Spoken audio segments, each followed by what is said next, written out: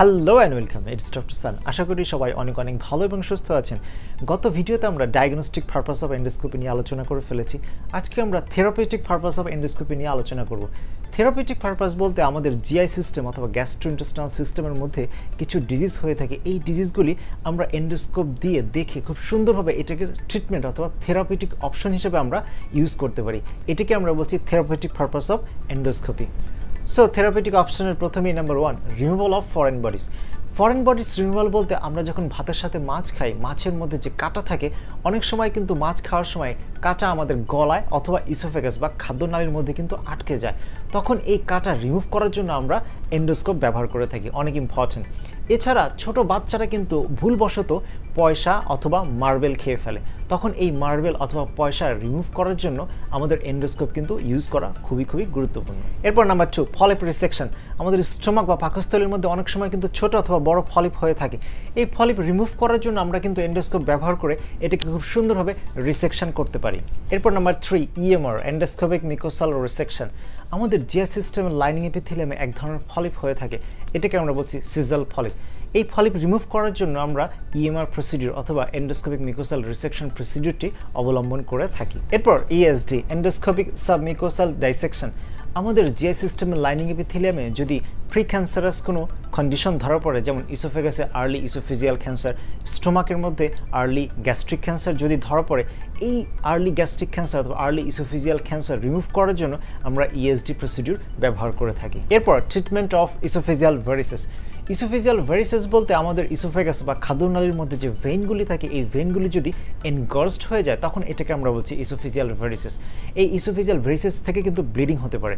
এখন এই oesophageal ভেরিসেস control করার জন্য, অথবা এই ইসোফিজিয়াল ভেরিসেস ট্রিটমেন্ট অপশন হিসেবে আমরা ইবিএল বা এন্ডোস্কোপিক ব্যান্ড লাইগেশন আমরা ব্যবহার করতে পারি। এরপর ইনজেকশন থেরাপি আমাদের যে সিস্টেমের মধ্যে যদি কখনো ব্লিডিং হয়, এই ব্লিডিং পয়েন্টকে আইডেন্টিফাই করার জন্য আমরা প্রথমে এন্ডোস্কোপ দিয়ে এটাকে খুব সুন্দরভাবে আইডেন্টিফাই করতে পারি। তারপরে আমরা একটা ইনজেকশন থেরাপি দিয়ে এই ব্লিডিং পয়েন্টকে কন্ট্রোল করতে পারি। এরপর এন্ডোস্কোপিক ড্রেনিজ অফ ফ্যানক্রিয়েটিক সিডোসিস্ট আমাদের স্টোমাকের পিছনে একটি অর্গান থাকে, এটাকে আমরা বলছি ফ্যানক্রিয়াস এই ফ্যানক্রিয়াসে অনেক সময় সিডো সিস্ট হয়ে থাকে। এই সিস্ট ড্রেন করার জন্য আমরা এন্ডোস্কোপিক ড্রেনেজ প্রসিডিউরটা আমরা ব্যবহার করে থাকি। এরপর dilating or stenting of stenosis or achalasia আমাদের ইসোফেগাস বা খাদ্যনালী অনেক সময় কিন্তু সংকুচিত বা স্টেনোসিস হয়ে যেতে পারে। তখন আমরা এই সংকুচিত জায়গাটি প্রসারিত করার জন্য অথবা ডাইলেটেশন করার জন্য আমরা এই এন্ডোস্কোপিক প্রসিডিউর কিন্তু আমরা ব্যবহার করে থাকি। এরপর POEM per oral endoscopic myotomy আমাদের ইসোফেগাসে এক ধরনের ডিজিজ হয়ে থাকে, এটাকে আমরা বলছি একালিশিয়া খার্ডিয়া এই একালিশিয়া খার্ডিয়া ট্রিটমেন্ট অপশনস হিসেবে আমরা কিন্তু পিওইএম অপারেশনটি এন্ডোস্কোপ প্রসিডিউর দিয়ে কিন্তু আমরা করতে পারি। এরপর পিইজি পার্কিটুনিয়াস এন্ডোস্কোপিক গ্যাস্ট্রোস্টমি বা এটাকে আমরা বলছি ফিডিং টিউব প্লেসমেন্ট আমাদের ইসোফেগাস যদি কখনো কোনো কারণে সংকুচিত হয়ে যায়, তখন কিন্তু আমরা খাবার খেতে পারব না বা এই ইসোফেগাস দিয়ে কিন্তু খাবার আমাদের স্টোমাকে পাস করতে পারব না। তখন এই অল্টারনেটিভ হিসেবে আমাদের স্টোমাকে খাবার পৌঁছানোর জন্য আমরা এক ধরনের টিউব রিপ্লেসমেন্ট করে থাকি। এটাকে আমরা বলছি ফিডিং টিউব প্লেসমেন্ট এবং এই প্রসিডিউরটি আমরা এন্ডোস্কোপের মাধ্যমেই কিন্তু সম্পন্ন করে থাকি। অনেক ইম্পর্টেন্ট মেসেজ আপনাদের জন্য। সো বিষয়টা যদি আমি একটু সামারি করি, কী কী থেরাপিটিক অপশনের জন্য আমরা এন্ডোস্কোপি করে থাকি, তার মধ্যে number one removal of foreign Bodies number two polyp resection number three EMR endoscopic mucosal resection number four ESD endoscopic submucosal dissection number five treatment of oesophageal varices খুবই খুবই গুরুত্বপূর্ণ information number six injection therapy number eight endoscopic drainage of pancreatic pseudocyst.